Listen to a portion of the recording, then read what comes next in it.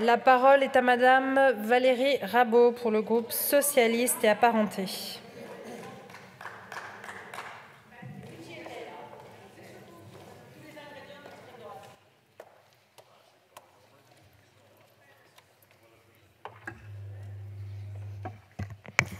Madame la Présidente, Madame la Première ministre, Mesdames et Messieurs les ministres, Madame la rapporteure générale de la Commission des affaires sociales, mes chers collègues. 5,49.3 en un peu moins de sept semaines, 5 motions de censure en un peu moins de sept semaines. Je crois que nous pourrons tous convenir à l'aune de ces chiffres que notre démocratie parlementaire ne fonctionne pas bien et que nous emportons tous une part de responsabilité, certains sans doute plus que d'autres. Cette situation nous amènera peut-être à conclure que la Ve République, sous la Ve République, l'Assemblée nationale ne peut fonctionner qu'avec une majorité absolue et que, faute de majorité absolue, il faut de nouvelles règles au Parlement. Quoi qu'il en soit, Madame la Première ministre, aujourd'hui, c'est vous qui êtes à la tête du gouvernement et c'est donc à vous qu'il revient de trouver les voies pour que notre démocratie fonctionne. Or, contrairement à vos prédécesseurs, vous avez fait un usage quelque peu inédit du 49.3 et je vais vous en donner au moins deux preuves en repartant de la première lecture des lois de finances. Depuis 1958, six gouvernements ont utilisé le 49.3 sur une première lecture d'une loi de finances.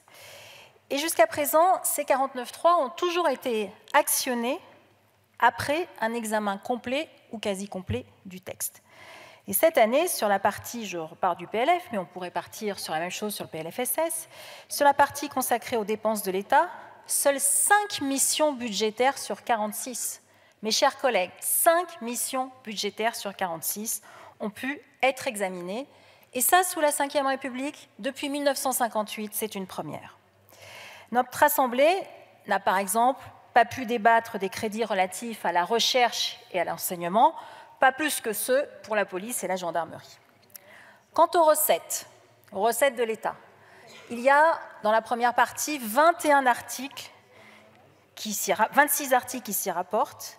Eh bien, nous n'avons débattu que 5 de ces articles. Alors vous allez me dire, oui, mais c'est parce qu'il y avait trop d'amendements. Peut-être. Mais vous savez très bien, mes chers collègues, que le gouvernement peut utiliser l'article 95 de notre règlement et faire en sorte que les articles qui représentent des grosses recettes soient étudiés, examinés en premier. Là aussi, vous n'avez pas souhaité actionner cette possibilité, ce qui fait que, par exemple, la suppression de la CVAE, qui représente quand même 8 milliards d'euros, est passée à la trappe. Alors, évidemment, vous avez justifié euh, ce, ce 49.3 par le trop grand nombre d'amendements, mais je vous le redis, vous aviez la possibilité d'organiser le texte différemment. La seconde raison, Madame la Première ministre, tient au nombre d'amendements votés par les députés et qui figurent ou qui ne figurent pas, surtout dans le texte adopté par en 49.3. Je reprends toujours le cas de la première partie de la loi finance. 72 amendements ont été votés qui émanaient des amendements qui avaient, euh, pour certains, un poids certain. Oui, oui, mais vous ne les avez pas retenus. Vous n'en avez quasiment retenu aucun. Et ça, quand on regarde les six fois, les six fois pour lesquelles des gouvernements ont utilisé un 49.3 sur une partie d'une première loi de finances, c'est une première. Là aussi. Là aussi, alors on pourrait se dire les amendements de l'opposition, les amendements sur les EHPAD qui ont été votés avec une majorité, ou encore le dédommagement des frais kilométriques pour les bénévoles, tous des amendements qui venaient de l'opposition, on pourrait se dire vous les avez refusés, mais vous avez même refusé celui du Modem qui a obtenu 229 voix pour concernant la taxation, la taxation des superdividendes. Là, on reste sans voix.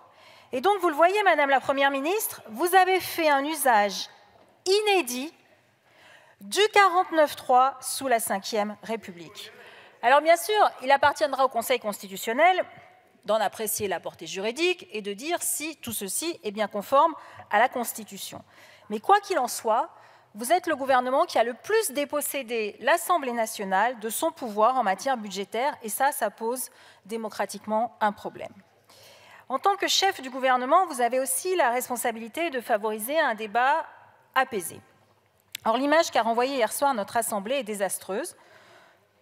Il y a une responsabilité sans doute partagée, mais évidemment, elle revient en premier lieu au groupe qui compte aujourd'hui le plus grand nombre de députés au sein de notre Assemblée. Car au-delà des désaccords politiques qui existent entre nos groupes parlementaires, qui sont légitimes et souhaitables dans une démocratie, notre Assemblée repose sur un équilibre entre les groupes majoritaires et les groupes d'opposition.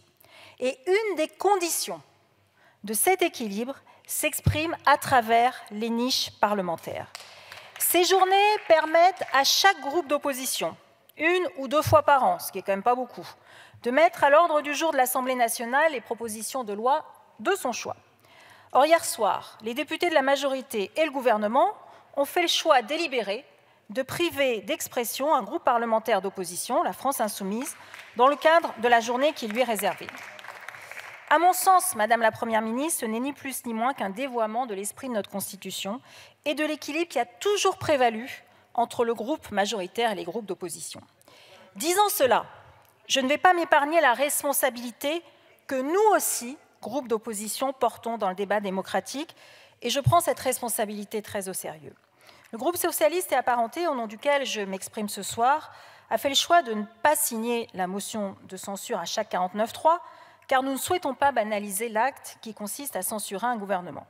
Mon groupe a aussi fait le choix de ne pas la voter par conséquence. Mais retrouver le sens de la responsabilité doit être un impératif pour nous tous et tous.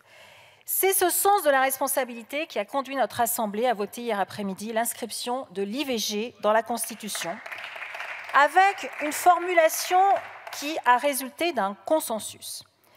C'est ce sens de la responsabilité qui a conduit la présidente du groupe Renaissance, Aurore Berger, à retirer son propre texte, acceptant que celui émanant initialement de la France insoumise et porté par sa présidente Mathilde Panot devienne celui de l'Assemblée nationale. Il y a dans notre Assemblée de rares moments où nous parvenons à dégager un intérêt général qui dépasse nos convictions partisanes, sans les trahir. C'est cet esprit-là que vous gagneriez à cultiver et à diffuser. Madame la Première ministre, vous aimez les mathématiques. Et vous le savez, les nombres ne mentent pas. Sur 1500 milliards d'euros de dépenses publiques, quelle est à votre avis la part que vous avez accepté de négocier avec les oppositions? Eh bien, je vais vous le dire, c'est moins de 0,05%. Alors je crois que ce chiffre est sans appel. Madame la Première ministre, notre démocratie ne va pas très bien. Elle peut plier, elle peut plier face à un État qui s'abîme sous la pénurie de médicaments, sous des EHPAD qui sont au bord de la faillite, sous une production électrique qui est insuffisante.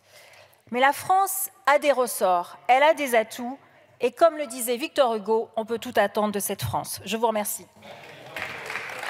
Merci beaucoup, ma chère collègue.